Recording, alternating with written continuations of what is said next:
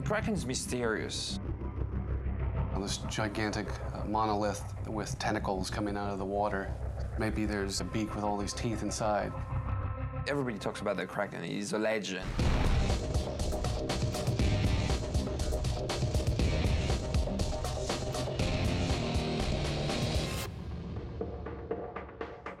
The one thing was just to try to make something that was really horrific and gigantic.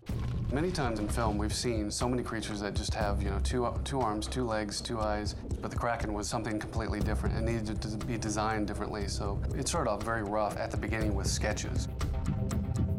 We explored a bunch of things that actually felt like tentacle mouths, you know, that were just coming out of the mouth. It was like no teeth really at all. And then we actually explored different things with a bunch of spikes all over the, the head. There's so many combinations. There's shark elements, there's crab, there's crustacean. It took us a long time to nail that design. I mean, it was like he had too many tentacles, not enough eyes, too many teeth, not enough teeth, one tongue, no tongue, and everything. Once we figured out, like, okay, these are the elements that Louis likes, how do you balance that? You know, how big it was gonna get. To Louis, it was like, bigger the better. Once Aaron had finished, that's when he passed it on to us and the team at MPC. So then we go into the sort of the intricate details of what does each texture look like, what does a tentacle look like, what does a claw look like, what does the chest look like. It looks nice here because it, it because his shoulders are so thrown Yeah, back. thrown It, back, it, yeah. it justifies the ex, the sort of hyperextension of the Mm, chest. But here, where he's in a much more sort of relaxed pose. Suddenly begins to go, Yeah. actually he's a bit chubby, Chubby. and he's got a big old chest on him. He's very barrel chested. Well, yeah, but yeah, sure. So there's a long process of sort of developing and refining and, and at the same time figuring out scale. It's quite a big creature, a big heavy creature, so he's quite cumbersome, quite slow. It's a fine line trying to find the right weight and the right size of the creature and the right scale of movement. It's a difficult thing really to get right is, is, is the speed of him, how fast and heavy he is. That's, that's the biggest challenge of the Kraken. And obviously, water was a huge element. You know, it's a creature that's risen up out of the sea. It's got water cascading and pouring off it. There's a whole team of people completely dedicated to creating the water effects.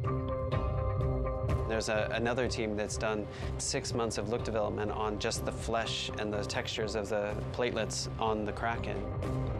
Another thing, obviously, is uh, the integration of all this. You have to think about the scale of the creature, the scale of the city, the look of the city, which was based on an actual cliff uh, formation in Tenerife that we then worked around to make it as real as possible. we wanted to not reveal it right away. So it could not be a creature that just popped out of the water. So we had this idea of an unfolding kraken. He's got a cowl, which is plates uh, designed almost like a hood or a visor that he pushes back, and then it's only then that you see his face. We ended up with you know, big shoulders, a big thick neck, and, and a face that looked like it could come down and eat you. A big mouth with a lot of teeth.